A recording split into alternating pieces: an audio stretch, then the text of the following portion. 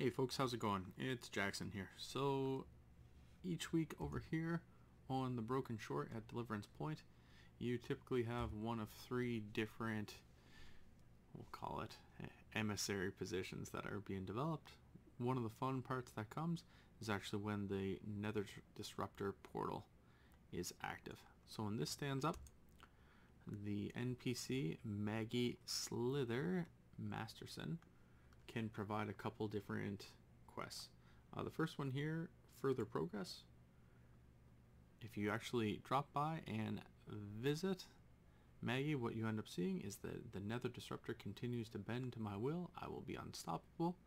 Each day that the Nether Disruptor is available, you can drop by and Maggie will provide you with a new seal of Broken Fate. So drop by, definitely take advantage of that. It's an easy free turn in, and then additionally touched by fate. Every day it's up, you'll you'll get this quest, and it's just the daily as you see there. I'm spent. I fear I've gone too far. Take this final seal. We'll take both of those. Awesome. Great way to get capped up, and if you are pushing the back end of the heroics or starting to push the mythic content, it's a, it's a pretty smooth fight. Okay folks, that's all I've got for you. Again, have some fun, go check all this out, and I will talk to you all soon. Thanks for watching. See ya.